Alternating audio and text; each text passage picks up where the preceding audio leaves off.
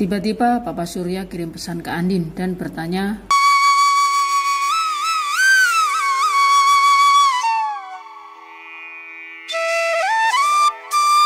Di episode selanjutnya nanti, Andin yang langsung menanyakan pertanyaan Papa Surya pada Mama Rosa, tapi yang menjawab suaminya, Aldebaran.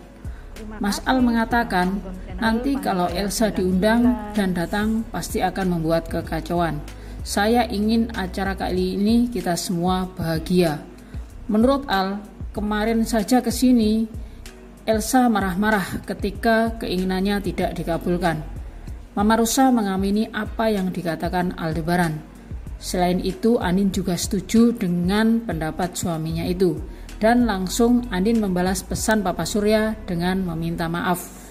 Menurut Mas Al, memang sengaja tidak diundang karena Mas Al tidak ingin ada keributan di villa nanti. Nah.